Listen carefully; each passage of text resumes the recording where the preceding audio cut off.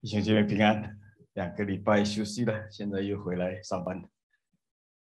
好，今天我要从不同的角度跟大家分享，分享什么呢？主要我要开始分享基督论。到底我们相信的是谁？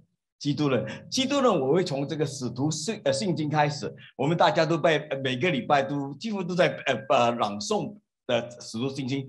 到底使徒信经是怎么一回事？使徒信经一共一共有十二节，十或者是十二条。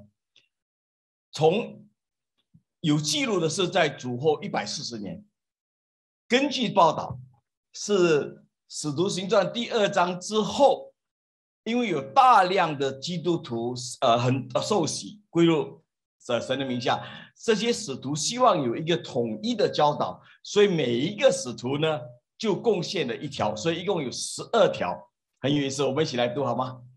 我信上帝，全能的父，创造天地的主。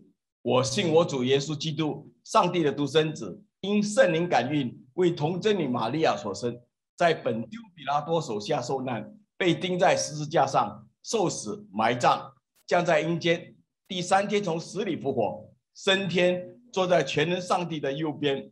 将来必从那里降临审判活人死人。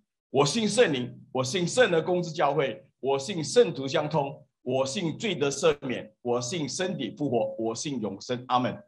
这十二条不是我分的，这十二条就已经定好了，就是这样的。所以，我我今今天我们来探讨，主要的是前面七条。第一条最关键的就是我信上帝全能的父，创造天地的主。首先，我们来到主面前，我们要宣告什么呢？宣告我们相信上帝的永恒的存在，他的创造和他的全能。这一点对我们服侍的弟兄姐妹来讲事关紧要。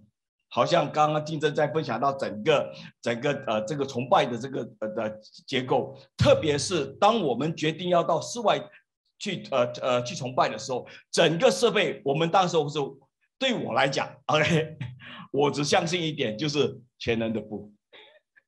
我说上帝你行，OK，你你你行，上帝怎么做呢？就吸引了很多弟兄姐妹，大家一起来做。这个就是我们信我们信仰的一个中心。这个当你在呃朗诵使徒信经的时候，很重要，你会发现一件事情：我们相信的不是什么，我们相信什么？我们是相信谁？Whom we believe，就是你相信的对象是谁？这里要讲到，我信上帝全能的父，创造天地的主。这个信字。很关键啊！我很喜欢保罗在罗马书第一章十九节，他讲到神的事情，人所能知道的，神已经显明在人性里面。神已经把这个认识他的本能，the ability to believe, ability to understand，这个本能呢，他神放到我们里面了。所以，当我们既不是他的时候，很自然怎么样？我们心灵的深处会有一个印证，yes，你会讲 yes。神可以是一种人所能知道的一种直觉，是一个 intuition。很多时候，弟兄姐妹会问我：“你怎么会这样想？怎么会这样计划？”我说：“这个都是什么？祷告的时候有这个 intuition。好，这个 intuition 不是说百分之百那个呃准确，但是很多时候我们的 intuition 就是从这个祷告来的。好像要到室外崇拜，我们的 intuition 就是我们必须要。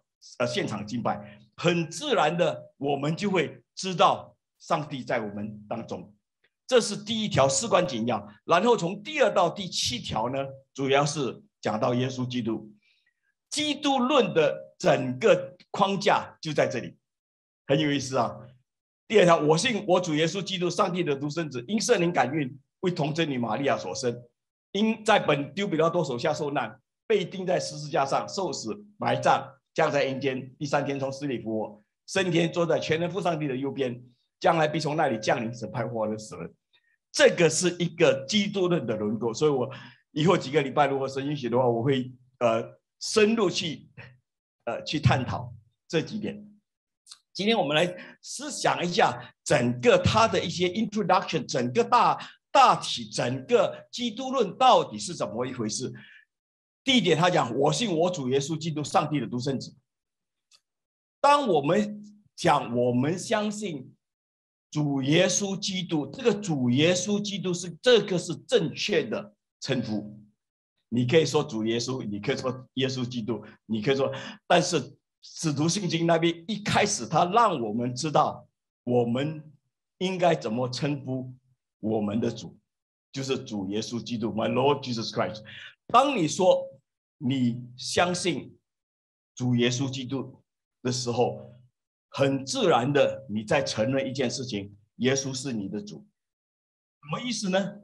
当你说耶稣是你的主，我们很多时候只是嘴巴相主哈 口头上讲，心里面有没有承认？未必。为什么呢？当你说耶稣是我的主的时候。一件事情必须要发生，你必须要把你的主权交给耶稣基督。耶稣基督是在掌控你的主权，特别是你的银行户口、你的支票簿、你的钱财，最重要，到底这个钱是谁的？当你说我信我主耶稣基督的时候，第一件事情你一定要承认一件事情：我的房子不是我的。OK，我的工作是神给我的。我的家庭是神给我的，这一切都是主耶稣基督的。这一点，我觉得我们当我们在念使徒信呃圣经的时候，希望我们有这样的一种反思。当我们讲主耶稣基督的时候，很自然的，你承认了一件事情：耶稣是你的救赎主，耶稣是旧约所预言的受膏者，神的受膏者。整个称呼主耶稣基督这个称呼呢，是一个什么呀？是着 one for all or all for none。换句话说，你不能够挑。当你相信耶稣基督的时候，你就是必须要相信完完整整的耶稣基督是你的主。这个不是我们可以选择的，这个是使徒们所定下来的。好。在这句话里面有一一句话比较难解释的，就是上帝的独生子。我们怎么了解耶稣基督是上帝的独生子？英文他讲 “only begotten Son of God”。当时候除了这个 Apostle Greek 之外，还有另外一个 Nicene Greek，你西你他们叫尼西亚 Greek。这个信条，他在信条里面，他称耶稣基督，他讲。Begotten, not made。怎么讲呢？换句话说，在约翰福音第一章第一节，太初有道，道与神同在，道就是神。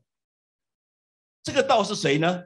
到了第十四节，他讲道成了肉身，住在我们中间，匆匆忙忙的有恩典有真理。我们也见过他的荣光，就是父独生子的荣光。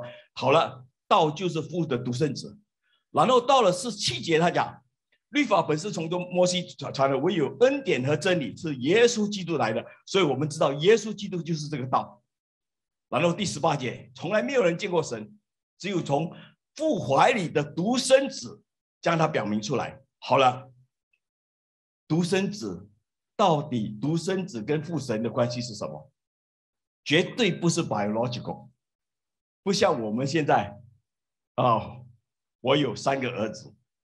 不是这个关系，它这个关系是什么？是一个形容词。OK，这个是一个形容词。Begotten Son，Only Begotten Son，这个形容什么呢？形容耶稣基督在约翰福音第十章三十三十节讲的“我以父原为义”，形容耶稣基督和神之间的一个关系，形容耶稣基督和父神的一一个永恒性。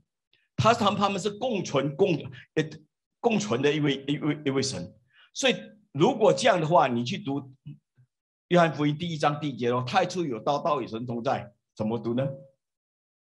太初有神，神与神同在，耶稣基督就是神，所以从这点我们看看到，我信我主耶稣基督，上帝的独生子，这个带给我们怎样的一种关键啊？好，时间到了。